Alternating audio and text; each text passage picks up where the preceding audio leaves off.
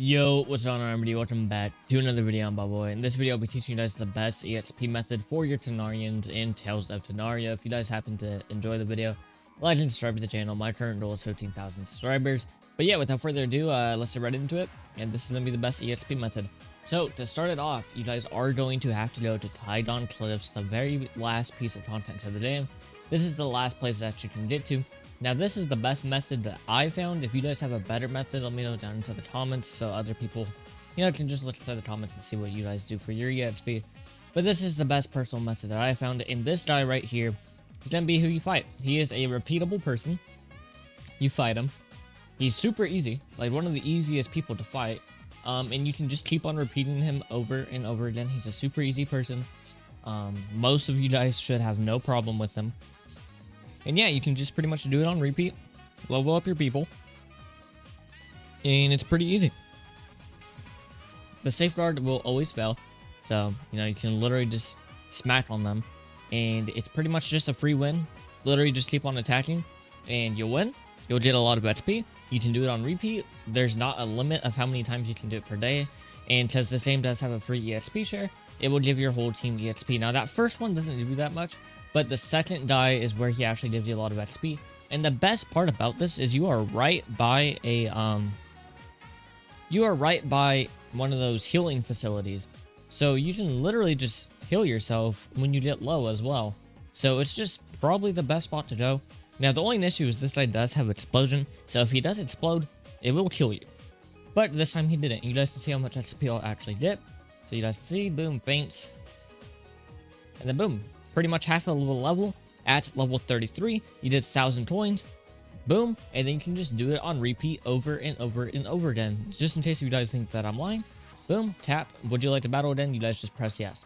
It's so easy. And then let's say you get weak or lose some of your Tanarians. If your team's already at low level or whatever, you can just run right over here. Go to the Tano station and heal up once again. It's a very easy method. This is what I recommend to do. Four levels. Now, the only issue about this is that obviously while you're leveling up, it will be EV turning, and I don't know what EVs that guy actually gives you.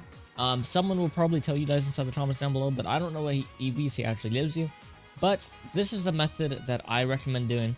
So pretty much you get that guy, you go to your box, and then you get some people that um, are obviously a low level that you want to level up.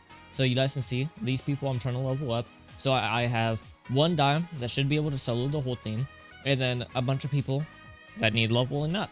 So I do that, I put them on my team, and then boom, and then I go fight them. If I win, then I do it on repeat. Once when I get low, once when my hyper carry for that team gets low, I come over here and heal and do it all over again. Um, so yeah, that's personally what I recommend you guys do to um farm XP for your Tenarians. I believe that is the best method definitely the best method that I found. Um, you can easily hit level 40. I recommend getting a whole team of level 40 before stopping doing this. Um, but yeah, pretty much you get a whole level every single time you do this. You get a thousand coins every single time you do this. It's just the best method, in my opinion. Um, but yeah, if you guys have a better method, let me know down inside the comments down below what your method actually is. And let me know down some video ideas for this game or other games you guys would like to see me play. Um, as I really don't know what to post after this video. Um, Tomorrow, I'll probably do my honest thoughts on the game, like pretty much just giving my opinion on the game, some things like that. Um, but other than that, I really don't know what to post, so whatever videos you guys want for this game, like maybe a Rapture guide or something, uh, just let me know inside the comments. But that is the best way to get EXP for your Tanarians in Tales of Tanorio. If you guys enjoyed, like and subscribe to the channel. My current goal is 15,000 subscribers. Um, but yeah, see you guys in the next one. Peace.